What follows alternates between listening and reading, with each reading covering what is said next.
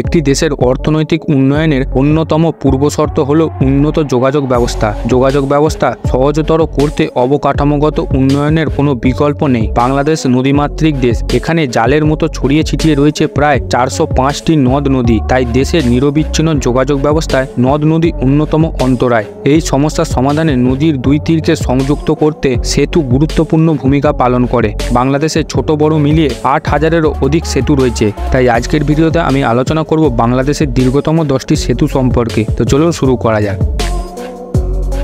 এক পদ্মা সেতু। স্থাপত্যকলার এক অনন্য বৈশিষ্ট্য সম্পন্ন সেতু হলো পদ্মা সেতু। জলপ্রবাহের দিক দিয়ে বিশ্বের দ্বিতীয় বৃহত্তম নদী। পদ্মার উপর অবস্থিত সেতুটি এক প্রান্তে মুন্সীগঞ্জের মাওয়া এবং অপর প্রান্তে শরীদপুরের জাজিরাকে সংযুক্ত করেছে। দ্বিতল সেতুটির দৈর্ঘ্য ছয় দশমিক এক পাঁচ কিলোমিটার এবং প্রস্থ আঠাশ দশমিক দশ মিটার, যার উপর দিয়ে যানবাহন ও নিচ দিয়ে ট্রেন চলাচল করে। সড়কটি চার লেনের হলেও রেলের লেন একটি। এর সর্বোচ্চ পাইলিং গভীরতা একশো আঠাশ মিটার, যা বিশ্বের সবচেয়ে গভীরতম সেতু পাইলিং হিসেবে গ্রিনিস বুকে স্থান পেয়েছে। দুই রূপসা রেল সেতু, দেশের দ্বিতীয় দীর্ঘতম সেতু রূপসা রেল সেতু, যার দৈর্ঘ্য পাঁচ দশমিক এক তিন কিলোমিটার, পোস্ত ছয় মিটার। রেল সেতু বিবেচনায় এটি দেশের দীর্ঘতম রেল সেতু। রূপসা নদীর তীরে অবস্থিত সেতুটির এক প্রান্তে বাগেরহাট, মংলা এবং অপর প্রান্তে খুলনা বাটিয়া ঘাটকে সংযুক্ত করেছে। নদীর মধ্যে থাকা মূল সেতুর দৈর্ঘ্য সাতশো ষোলো দশমিক আট মিটার, প্রস্থ ছয় দশমিক ছয় মিটার। মাটির ওপরে থাকা অ্যাপ্রোচ সেতুর দৈর্ঘ্য চার হাজার চারশো তেরো মিটার, প্রস্থ ছয় দশমিক ছয় মিটার। এর পিলার সংখ্যা একশো ছত্রিশটি স্প্যান সংখ্যা একশো ছত্রিশটি। মূল সেতুর ওপর সাতটি স্প্যান বসানো হয়েছে। যার দৈর্ঘ্য একশো দুই মিটার। অ্যাপ্রোচ ব্রিজে মোট একশো উনত্রিশটি স্প্যান বসানো, যার গড় দৈর্ঘ্য বত্রিশ দশমিক পাঁচ মিটার। সেতুটির নির্মাণ কাজ শুরু হয় দু হাজার সতেরো সালে, শেষ হয় দু হাজার বাইশ সালে। তবে এখনও রেল চলাচলের জন্য খুলে দেওয়া হয়নি। তিন যমুনা সেতু। যমুনা নদীর উপর অবস্থিত সেতুটি এক পাশে সিরাজগঞ্জ ও অপর পাশে টাঙ্গাইলের ভয়পুরাকে সংযুক্ত করেছে। সেতুটির দৈর্ঘ্য চার হাজার নশো সাতাশি মিটার, প্রস্থ আঠারো দশমিক পাঁচ মিটার। প্রথমে শুধু যানবাহন চলাচলের জন্য তৈরি করা হলেও পরে সেতুর একপাশে রেল চলাচলের জন্য লাইন স্থাপন করা হয়। সড়কটি চার লেনের হলেও রেল লাইনটি এক লেনের। উনিশশো ঊনপঞ্চাশ সালে সর্বপ্রথম মাওলানা ভাসানী সেতুটি স্থাপনের দাবি করেন। তবে এর নির্মাণ কাজ শুরু হয় উনিশশো চুরানব্বই সালে। যান চলাচলের জন্য খুলে দেওয়া হয় উনিশশো আটানব্বই সালে। সেতুটির গড় পাইলিং গভীরতা তিরাশি মিটার পিলার সংখ্যা পঞ্চাশটি, স্প্যান উনপঞ্চাশটি স্প্যানের দৈর্ঘ্য নিরানব্বই মিটার। যমুনা সেতুর ফলে উত্তরবঙ্গের সাথে ঢাকার সরাসরি যোগাযোগ স্থাপিত হয়েছে।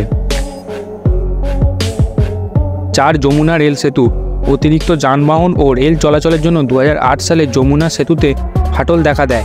ফলে রেল চলাচল ঝুঁকিপূর্ণ হওয়ায় যমুনা নদীর তিনশো মিটার উজানে পৃথক রেল সেতু স্থাপনের পরিকল্পনা করা হয়। রেল সেতুটির দৈর্ঘ্য চার দশমিক আট কিমি, লাইন সংখ্যা দুটি, পিলার রয়েছে পঞ্চাশটি, স্প্যান আছে উনপঞ্চাশটি স্প্যানের দৈর্ঘ্য নিরানব্বই মিটার। সেতুটি এখনও নির্মাণাধীন আছে। এর নির্মাণ কাজ শুরু হয় দু হাজার একুশ সালে, চালু হওয়ার সম্ভাবনা আছে দু হাজার পঁচিশ সালে। বর্তমানে যমুনা সেতু দিয়ে আটত্রিশটি ট্রেন পনেরো থেকে কুড়ি কিলোমিটার ঘন্টায় চলাচল করতে পারে।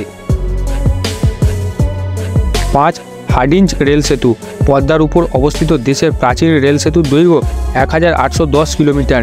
এর লাইন সংখ্যা দুটি, পিলার সংখ্যা ষোলোটি, স্প্যান পনেরোটি, স্প্যানের দৈর্ঘ্য একশো পাঁচ মিটার। এছাড়াও ভূমির দুই পাশে বিভিন্ন দৈর্ঘ্যের আরও ছয়টি স্প্যান আছে। এক পাশে কুষ্টিয়ার ভেড়ামারা এবং অপর পাশে পাবনার পাকসিকে সংযুক্তকারী সেতুটি স্থাপনের পরিকল্পনা হয় উনিশশো উননব্বই সালে।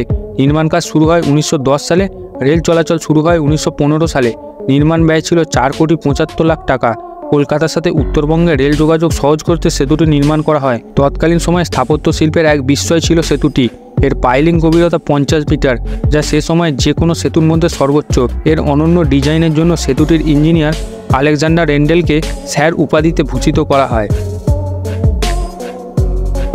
ছয় লালন শাহ সেতু বাংলাদেশের ষষ্ঠ দীর্ঘতম সেতুটি হার্ডিঞ্জ রেল সেতুর ভাটটিতে পদ্মার উপর অবস্থিত। চার লেন বিশিষ্ট সড়ক সেতুটির দৈর্ঘ্য এক দশমিক সাতশো ছিয়াশি কিমি, প্রস্থ আঠেরো দশমিক এক মিটার। এর পিলার সংখ্যা আঠেরোটি, স্প্যান সতেরোটি, স্প্যানের গড় দৈর্ঘ্য একশো নয় মিটার। দু হাজার তিন সালে সেতুটির নির্মাণ কাজ শুরু হয় মাত্র এক বছরের মাথায়। দু হাজার চার সালে জুনে নির্মাণ শেষ হয় ও যানবাহন চলাচলের জন্য খুলে দেওয়া হয়। উত্তর পশ্চিমাঞ্চল ও দক্ষিণ পশ্চিমাঞ্চলের আর্থ সামাজিক উন্নয়নে সেতুটির অবদান অপরিসীম। সেতুটি মঙ্গলবন্দর ও বেনাপোল স্থলবন্দরের সাথে রাজশাহী ও রংপুর বিভাগের যোগাযোগ সহজতর করেছে। সাত মুক্তারপুর সেতু। ধলেশ্বরী নদীর উপর অবস্থিত সেতুটি ষষ্ঠ চীন মৈত্রী সেতু হিসাবেও পরিচিত। এক দশমিক পাঁচ দুই এক কিলোমিটার দৈর্ঘ্য ও দশ মিটার প্রস্থ বিশিষ্ট দুই লেনের মুক্তারপুর সেতু মুন্সীগঞ্জের দুই প্রান্তকে সংযুক্ত করেছে।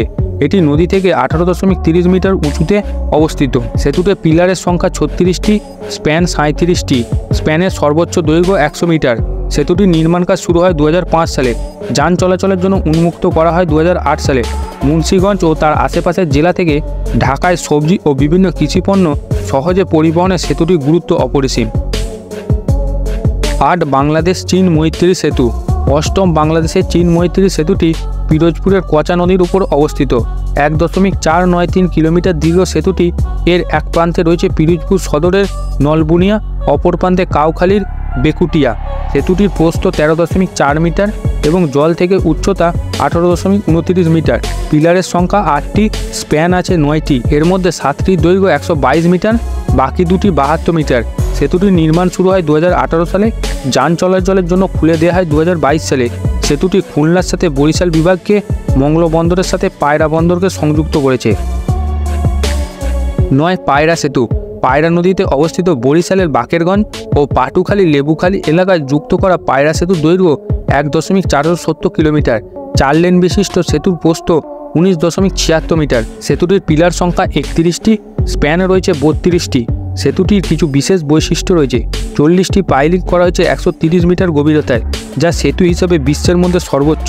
পায়রা বন্দরে বড় বড় জাহাজ নির্বিঘ্নে চলাচলের জন্য মূল নদীর মধ্যে মাত্র একটি পিলার বসানো হয়েছে।